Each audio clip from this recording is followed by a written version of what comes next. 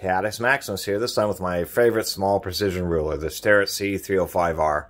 MSRP is 25 bucks. You can find them for 20 to 25 bucks. It is expensive. For a little ruler that just fits in your hand, a thin little ruler, you'd say, why on earth is it so expensive? Well, it's actually, a, this is a machinist ruler, and these are real precise. The dimensions, the squareness, the evenness of uh, the measurements. It's 461 wide. I'm not exactly sure why that is.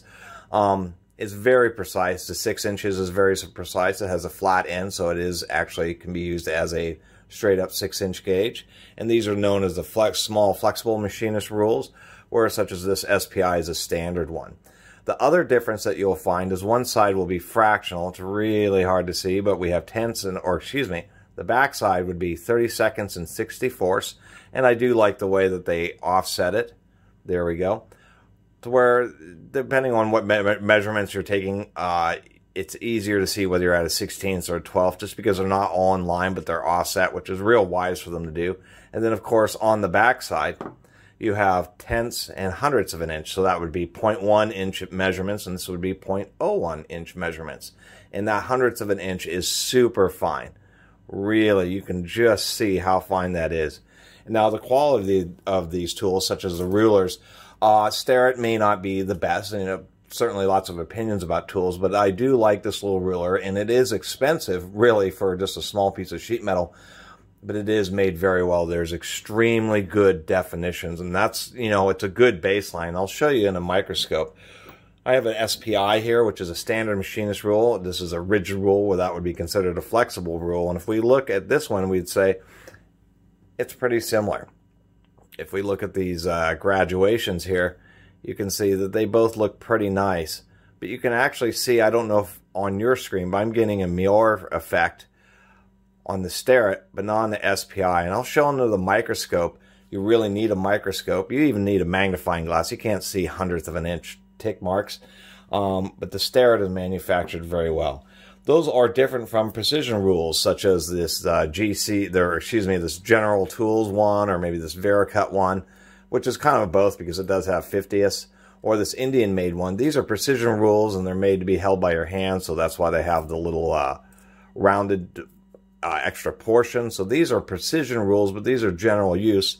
And the thing that would set them apart really from machinist rules is that machinist rules have decimal fractions and then regular fractions, one on each side. But let me show you the um, quality here. So you can see now we're not actually looking at the Starrett, we're looking at the SPI. And uh, you can see that for how tiny the text is on this SPI, it seems to be okay. When we're looking at a microscope, you would expect just a little bit of warbling around the zeros and around the S. If we go down to these hundredths of graduations, so each one of these black lines is 10 thousandths of an inch or 0.01 inches apart.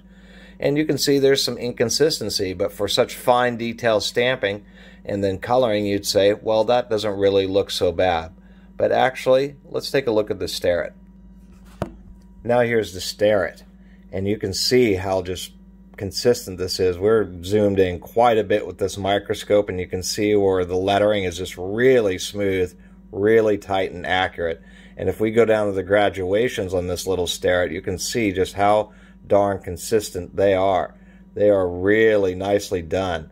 Uh, the stamping is really pretty accurate on Starrett tools. So that's my quick little video. These things are just great when you, I use them all the time when I'm, not all the time, I should say that, but I do use these relative, or this one relatively often just because it's real nice to have uh, just to get a pretty accurate measurement. Like when you're pressing on bearings, and you can't always get, you know, various other measuring tools in there. And it's just nice to have a just a small, compact, really high resolution ruler. Of course, they make them in various lengths, you know, up to 24 inches. And just wanted to talk about it, where certain things like from Starrett really do show the difference, where it would look real similar. SPI really isn't that bad, but when you get it under the microscope, and you'd notice that. You notice that when you're looking at the fine graduations on the SPI, they're just a little bit more blurry, or they're just really defined on the Starrett. And I should mention there are other precision rules that look like machinist rules, but they're just uh, precision rules such as this Miller's Falls, which is only in fractional. Anyway, I really appreciate everybody who's been watching and subscribing. And if you haven't subscribed, please do. Until next time, Catus Maximus out.